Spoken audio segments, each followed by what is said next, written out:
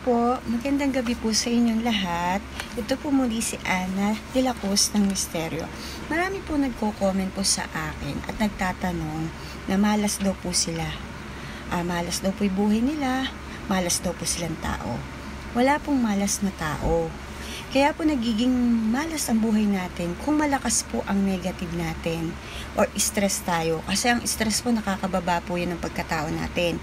Hindi tayo makakaisip ng maayos. At isa pa, kung may galit kayo sa puso at isipan nyo, isa pa po yun.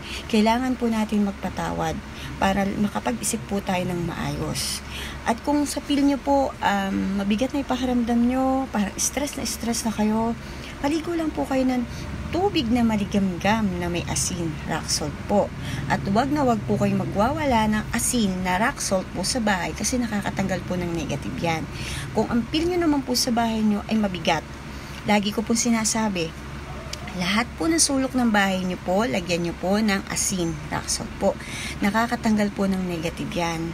Kasi marami po akong nababasa sa comment ko, sa YouTube ko, sa YouTube channel ko po na Ate Ana, bakit ba ganito nangyayari sa buhay ko? Malas yata ako. Wala man lang ako swerte, swerte sa buhay ko. Uh, tayo pong gumagawa ng swerte natin. Kung lagi po nating isiping malas tayo, hindi tayo makakapag-isip ng maganda pero kung isipin po natin positive, laban, at dasal po, lahat po ng gusto nating mangyari sa buhay natin, lahat ng gusto nating makamit, makakamit po natin yan. Kasi po, puro positive po ang iniisip natin.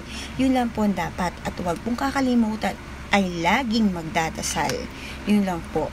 At kung kayo po ay talagang hirap na hirap na sa buhay, huwag niyo pong sasabihin na, tama na, hindi ko na kaya. Hindi po, habang tayo nabubuhay, laban lang po, may pag-asa. Sinusubukan lang po tayo ng Diyos, pagsubok lang po yan.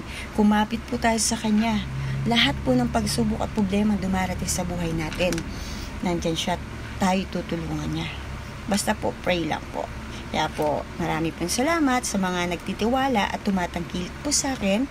Pa-like at subscribe po uli sa YouTube channel ko. Maraming salamat po sa inyo.